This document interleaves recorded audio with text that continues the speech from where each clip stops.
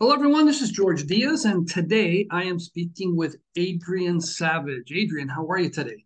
Hey, I'm great, George. It's great to see you. It's been a long time. Yeah, no, it has been. So, um, we get the question all the time. Matter of fact, more so in the last couple months of people going, "Hey, my, I don't think my emails are getting delivered," or people will come up and send me an email and it ends up in my junk folder, or, you know, spam folder, and Eh, you know things have changed a lot in the last couple years. Google and you know all the other email players are, are, changing the way they do things. They're trying to keep spam to a minimum. They're trying to keep everyone safe so to say from nasty emailers. And i thought i'd bring you on given your expertise to kind of explain to people here's how it works here's the kind of things you want to avoid. Awesome and, and just kind of dispel myths because I know there are plenty of them. Um, why don't you start off by you know introducing yourself, tell people a little bit about your your background because yeah, you are sure, the expert sure in my opinion. So yeah, so the potted history. I've, I've, been a geek since I was about seven or eight years old when, when my dad brought home an Apple II computer. So I've been an Apple fanboy for about forty years now, or something like that. Um, and got into email marketing about 11 12 years ago now and very quickly got sucked into the email deliverability side of things because you know being a bit of a geek i like digging down into the techie stuff and having a bit of an eye for detail and things like that. And lots of clients were starting to struggle getting their emails through. They were going in spam they were going in promotions whatever. Um, so i just started digging deeper and deeper to learn everything i could about the subject. Um, so i've progressed from being a kind of fairly generic marketing automation guy. I've been been a Keap certified partner for 10 years now, and now just focusing purely on email deliverability, which is pretty much helping you avoid the spam folder with the emails that you're sending and get as many emails into the inbox. Because let's face it, everyone wants to get more emails seen by more of their audience so they can make more sales. That's what this is all about. No, right. And, and email is still a wonderful way to, you know, connect with people, promote yourself, make people aware of what you're doing. Totally. Uh, but it's not like in the past where as long as you kept people from hitting that, hey, I don't want this guy, this guy's a spammer, and you kept it under 1%, you know, one per thousand, you were safe. Now, I mean, the rules have totally changed. Yeah, and I think that's the big challenge. I still come across people who are marketing like it's 2012, and they're still, you, you know how it used to be. You know, you built the biggest list you could, and then you just spam the hell out of it, and you keep mailing people and mailing people until they buy, they die, or they unsubscribe. And some people still do that, and they wonder why they're getting bad results. Yeah. So yeah, or, or wondering changed. why they're being stopped by their provider, right? Yeah, their provider saying, "Hey, we're going to knock you off our system." Very much. And the thing is the world of email evolves all the time. Even between now and a year ago, the rules are changing because, you know, let's face it, Google are the biggest mailbox provider in the world. They control between 50 and 80% of a typical email list. So if you've got 10,000 people on your email list, there's probably going to be five, six, 7,000 of those people are going to be going to an email, a Google mailbox. So we've got to follow the rules that Google state. And they publish most of them, but not all of them. And just to make life worse, Google have invested millions in AI, in artificial intelligence. So Google probably knows more about your emails than you do yourself. And they definitely know more about what your audience are doing with them. So if you're sending out garbage that nobody likes, Google are going to spot that and they're going to instantly slap you on the wrist and start sending all your mails to spam.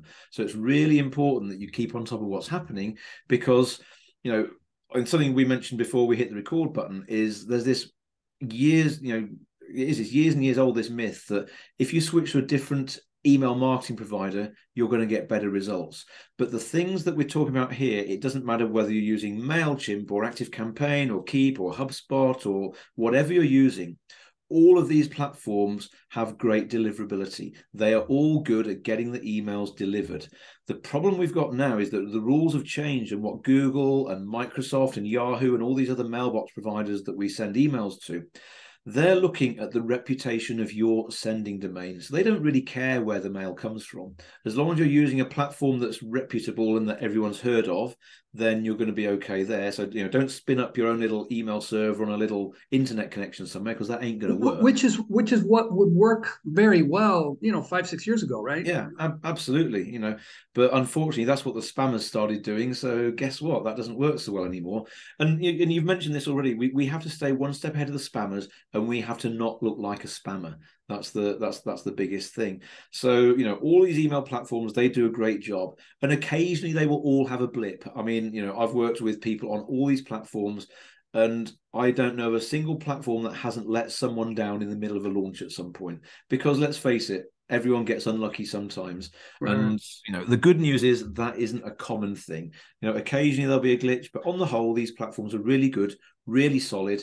And what matters the most is just how you are controlling them, what you are sending, when you're sending it, who you're sending it to, what it looks like, all this kind of thing. And these are the new rules of email that we got to follow. And this is why, as much as possible, I try not to use the word deliverability because it does kind of confuse things. First off, it frightens people away because it sounds like this rather techie thing. There's all these bits you got to do, which, well, maybe, but there's other stuff that you can do as well. And also, deliverability is always someone else's problem you know, you go you go on Facebook and you see people saying, "Hey, I think that Mailchimp has got bad deliverability." Well, I've got some news for you. No, they haven't.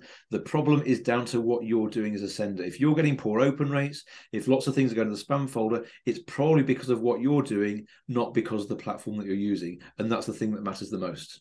Yeah. Okay. So so rule number one: don't try to blame it on your provider. Moving providers isn't going to change things, especially if you exhibit the exact same side of behavior if you switch. You, you've you've nailed it. It's a, it's a bit like if you're working out at the gym. You know, you want to get fitter. and you're going to the you, you're going down to the cheap gym down the road you can go to the most expensive gym in the area if you keep doing the same exercises you're going to get no fitter and it's the same with the email platform you've got to it's, it's down to the way you're using it that decides what happens to your emails so you've got to remember that the responsibility starts here and it's something that you've got to take on board and you've got to stick at it forever. It's not something where you can just suddenly be a good boy or a good girl for a few days and then go back to your old habits. You've got to make sure that you're doing everything in the best possible way because Google and everyone else have got their eyes on you. Okay, so what do you need to do once you're on there and okay. you're thinking of doing the right thing? So I'm going to ask you a trick question, okay? Your email lists, because I know that you send emails to your audience and they're great emails and you get good responses. Would you say that your email list is an asset or a liability? I'm hoping it's an asset. Okay, perfect. So that is the correct answer. We want it to be an asset. But the thing that you have to be aware of is that if you're not sending your emails in the right way, your email list is going to be a liability.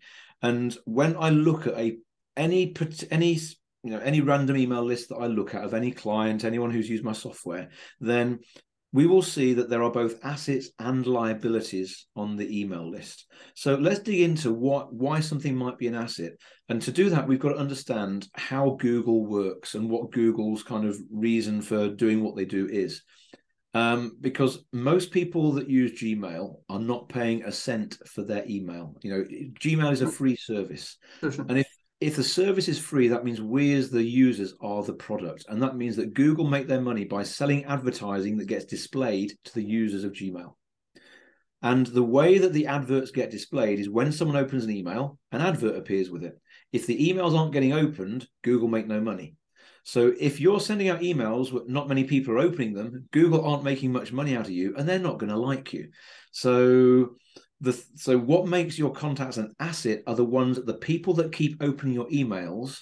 They are the ones that google are most likely to continue showing the emails to. And the more emails you get in front of people for google the more money they can make out of you the more they're going to like you.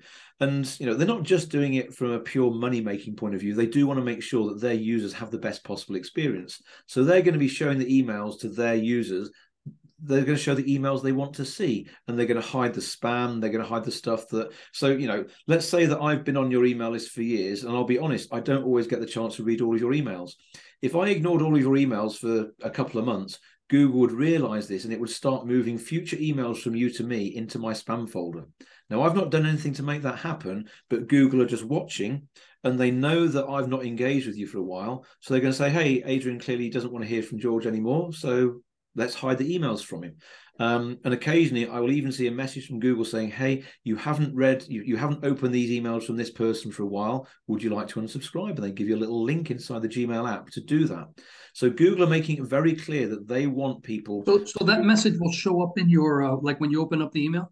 Yeah, ab- absolutely. You know, some sometimes when I when I've gone into my Gmail at the top of the screen, there's been there's something that says, "Hey, you haven't opened any of these emails from X Y Z for a while. Would you like to unsubscribe?" And they have the little link that's tied into the unsubscribe link on that email. So they're they're pretty darn clever with this.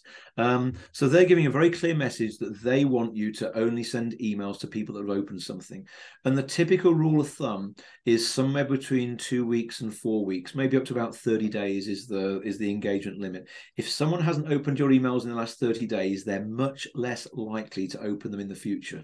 And once you get beyond 90 days, then I've done a lot of analysis for a lot of people. I even did this for Frank Kern at one point, and we learned that between 65 and 70 days, if someone hasn't opened an email in that time, they're almost certain to never open anything again. So the so the kind of the, the definitions that I've come up with is that the best assets on your email list are the people that have opened something within the last 30 days. Right. And and and here's something that goes with that. If you're not sending people emails within 30 days. Yes. That that that is a vital thing. And in this day and age, sending one newsletter a month unfortunately isn't going to cut it. Right. in an ideal world you want to be sending at least one email a week and that's only 50 a year. You can probably think of 50 things to say about your business in a year. And if you're really up for the challenge i would say send something out every single day. Because yes you will get a few more people unsubscribing but those are the folks that would never have bought anything from you anyway. If you're sending out great quality content, they're going to want to hear from you. So don't be afraid to send out lots of emails as long as they're only going to your assets. And that's the important thing. If you send lots of emails out and most people are ignoring you, you'll get a low open rate. Um, Google will see that, Microsoft will see that, Yahoo will see that, and they will penalize you. They will mark down your reputation, in their little black book that they've got when they keep this dossier on all the different domains and what they do. And if you keep sending emails to people that aren't opening, then they will notice and they will penalize you. But as long as you're just focusing on those people that are opening, then you're good to go. Right. And and I, I tell you what, in my uh, Keap account, I've got about 16, 17,000 people, but my emails only go out to about 1,100. Yeah. I mean, and, and, and that, I mean, at the beginning, it was like, oh my goodness, this, this is horrible but I get a 50% open rate by those people. Yes. So it's it's a big awesome.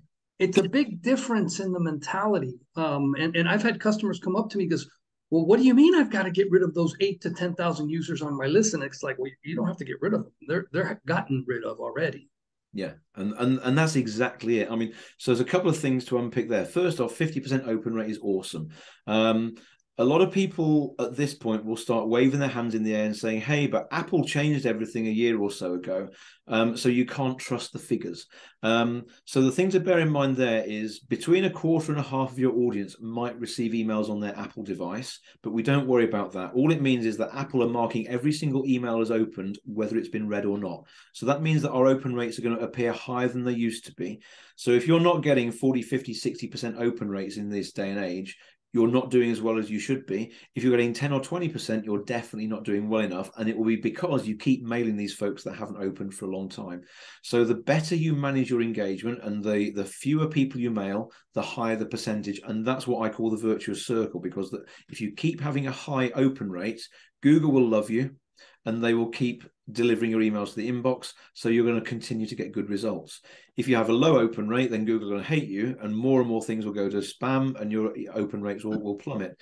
So having having that is a good thing. And then also from there, it's also about making sure that you're continuing to send to the right people at the right time. And if people go beyond 30 days, then I'd say mail if you if you're mailing once a day or once a week, mail those mail just the people that have opened in the last 30 days. Those are your best assets. Then you've got the people that opened between 30 and 90 days ago. They're still an asset, but they're they've kind of fallen asleep on you, and you might need to wake them up. So those folks mail them, but not as frequently. So if you mail your list every day, then you mail the the the, the 30 to 90 day guys maybe once a week. If you mail weekly, you'd mail the other guys once a month. And once they get to day 90, you stop mailing them. You might want to put them through some kind of automated re-engagement campaign sequence where you can send them an email, say, "Hey, do you still want to hear from me? Click here if you do," and then another email that says, "Are you still there?" And then another email that says, yeah. "Right, I'm going to unsubscribe you unless you respond to this email. I click or reply or whatever." Right now, now at that point, they're gone. yeah. Now, if you're using a tool like Keap and some other systems have this, you you can turn on your automated uh, list management features, and they yeah, will automatically they, they will automatically do the you know the expiration where you no longer send them. And as much as a lot of people don't want to use that, you know what you're saying and what the experts are saying is, hey, you want those people off your list because otherwise you're never gonna you, yeah, you know you're, you're it's going to get worse and worse. Because once once they've gone past 90 days of not opening or if they've never opened they are a liability. And the more liabilities you've got on, the, on your list the more you're emailing then they are silently killing your reputation and your sales every time you mail them. And i know there's a big fomo thing going on here because you know most businesses invest thousands or tens of thousands of dollars in lead generation and it's very difficult to suddenly let go of all these leads that look like they've got a value but we've got to be honest you've already nailed it george. If they're nine if they haven't opened something in the last 90 days they are worthless already. And if you keep mailing them you're into negative equity. You're going to be hurting yourself. So it's really important to focus on those assets because those are the folks that you really want to keep mailing. And the reason this matters so much is going back to lead generation for a second is most people do spend a lot of money on lead gen. You might be spending 5 10 20 dollars per lead even more.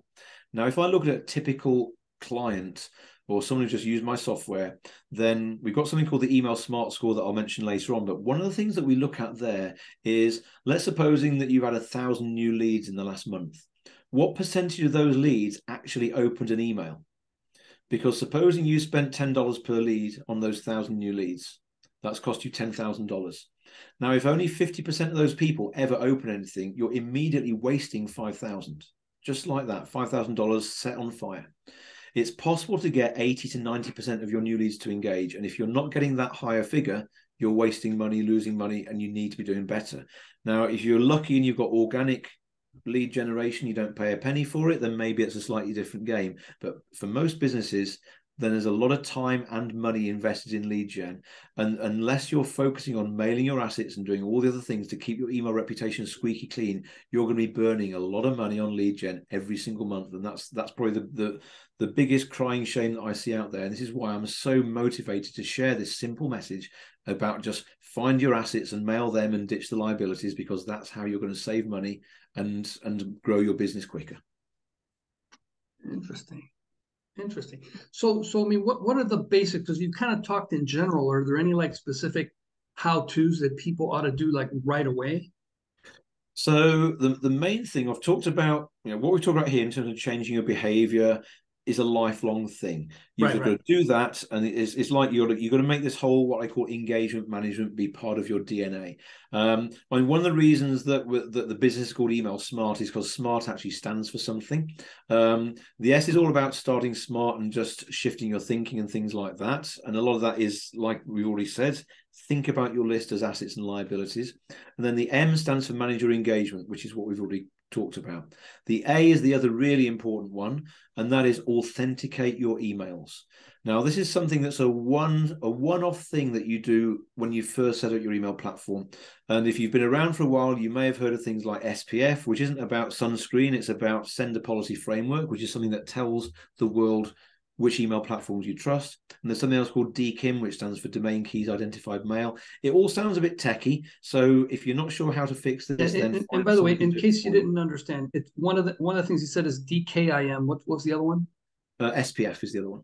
SPF. So those are two things. It's it's real geek speak, but it's how you set up your DNSs and you're actually telling the world, Google, hey, I trust this person to send email on my behalf. Absolutely. And if you hear stuff from other people, I don't know who they are.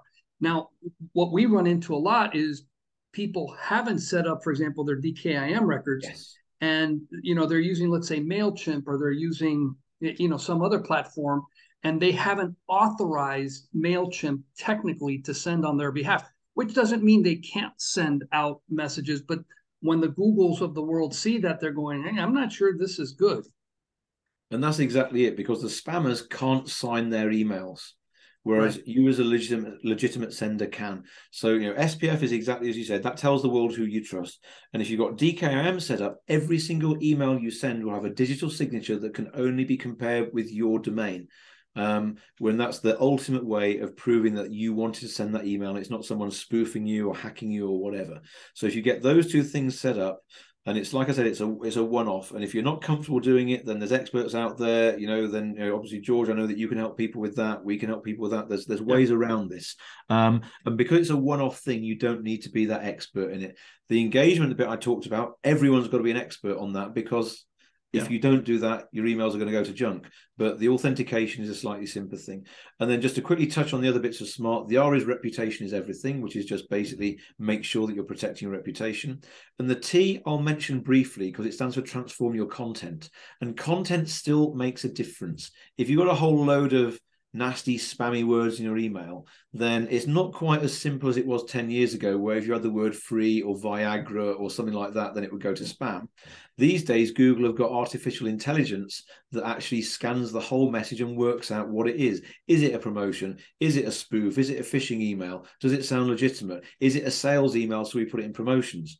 So it's you know you can't game the system anymore, but you can still make sure that you're making the emails as likely as possible to be opened and read and acted upon just by being yourself. Don't try and game the system, just be conversational. Send send decent, well-worded emails that look like you're writing to someone rather than some horrible spammy buy my stuff email all the time. No, no right. And, and for example, um, I mean, in my case, we talk about membership sites because that's the world we live in, but I'm working, totally. for example, um, with uh, a team that um, helps wineries. And, uh, you know, you can't be selling all the time. But I go, wouldn't you love to hear about wine smarts from wineries? So talk about wines, talk about, you know, the events, you know, people that had a lot of fun at your venue. Yeah, hey, just wanted absolutely. to let you know and and make it, you know, engaging. And again, a lot of people are going to go, I'm not interested. Well, those people are not wine drinkers, they don't care. Uh, but some people go, hold on, note to self, this person knows about a topic I'm semi interested in. Exactly. And, and that's exactly it. Don't be afraid to share good quality content. You know, occasionally it's fine to send out a blatant offer and say, hey, I've got this amazing deal for you or whatever. But in between times, then just yeah, lots of good quality content. As and you know, and I think you've talked about this years ago about you know plain text emails perform better than pretty ones. Yeah, one with a header at the top and then with an announcement and an image embedded. I mean, nobody does that naturally in a real email. Exactly, and that's the thing. The emails need to look like they're from you to an individual person. And no, you know, if you go onto your phone or your Gmail or whatever, you don't have a great big banner at the top and you don't have lots of pictures all the way through and and beautiful signatures and stuff like that because that's not what you do. Um, and marketing emails should be similar to that. There's a few exceptions but on the whole the fewer images you've got the better and definitely the fewer links. And you know my my biggest kind of you know face palm moment is when i receive an email from someone and they've got all the little links to their socials at the bottom and you've got little icons for facebook and linkedin and twitter and youtube and instagram and whatever and each of those is a link and an image. And the more of those you put in the more likely it's go it's going to go to promotions or even spam. And let's face it if you're sending out an email saying go out and check my blog post or go and buy my stuff do you really want to distract them sending off to your social media? If you want to send them to social send out a separate email that says go and check out my facebook page and look at you know scroll scroll past lots of kittens and puppies but don't have that at the bottom of each email because it just it just distracts people and it's going to make more likely that your email doesn't get through. Go figure so, any, know, any additional any additional advice you got for us? I think though those are the main ones. I mean, you know, it's the thing. The thing with getting emails into the inbox is like a massive jigsaw puzzle, um, and you've got to start somewhere. So you start with the corners and the edge pieces, and that's what I've given today. And until you've got a good email smart score, we'll talk about that in a second. Then the rest of it doesn't matter that much. You know, get your authentication done. That's a one-off, and then just focus on your engagement. Check your email smart score because that will tell you what good a job you're doing. The higher the score, the better you're doing. It's as simple as that. Yeah. So tell us about this because, eh, by the way, he's got a really cool tool that's a great way to get started. And it's it. By the way, this isn't just him spamming people. This is just a really good tool to get you started understanding where you stand against you know these tools that aren't necessarily wanting to help you. Yeah, and I think this is an interesting one. The main reason I created the Smart Score was more as an education tool than anything else, because people still don't understand this whole assets liabilities thing. So, you know, the, the, the, smart score, it looks a bit like a credit check because that's, you know, that's what it is. If you've got a poor credit score, you can't get credit. If you've got a poor reputation for your email, you can't get them delivered. So all you have to do is you go, go to emailsmartscore.com and we'll repeat that in a second. And you just literally connect up your email platform, whether it's MailChimp, ActiveCampaign, Keap, HubSpot, you know, we, we support most of them. And this is a totally free tool and it just lets you connect your platform up. It'll do a quick analysis of what your email sending has looked like in the last 30 days, and then it'll give you a nice simple score. If it's anything below 500, then you're in big trouble. If it's up in the eight, 900s, 999 is a perfect score. That means that you've done pretty much as much as you can. And very few people get that. But that's okay. As long as you're getting the highest that you can, then you're doing good. And it's very simple. If you want to improve your score, stop mailing the liabilities, wait 30 days, your score will go up. It's as simple as that. And, the higher your score, the more likely you are to get a new the good new success with your new leads as well. And it reports on that. And it's emailsmartscore.com. Got it. That's it. Okay, I'll make sure to publish that when we uh, we put this online. Awesome. That is really cool. Because the thing is, this is it's email is one of those things where you can really nerd out on this if you want and if you've got a multi-million dollar business then you need to because a 2% change could make tens or hundreds of thousands of difference. But even if you've got a small list of just a few hundred or a few thousand it's still vital to do the basics because there's nothing worse that when someone signs up to your list or supposing they buy your product for your membership site and that welcome email you send out goes to spam. That's your reputation in tatters right there. So it's really important to do the basics no matter how big your email list is because you need to get your emails delivered. You need to be you, those emails need to be seen either so you can make more sales or once you've made the sale it's to make sure you protect your reputation by delivering the people what they've paid for in your membership site or whatever. Great. Great. Well adrian thank you for sharing your uh smarts with us. Um, I think I, I, know I, am It's been a while because I know the last time I checked this was in the spring when when you and even were um, were were introducing this. But um, I think it'd be great for everybody to give this a try. So thank you very much for your time. Thank you for the tool. It's a pleasure. Great. And always happy to help. Great. Hey, thank you very much for your time. Thanks.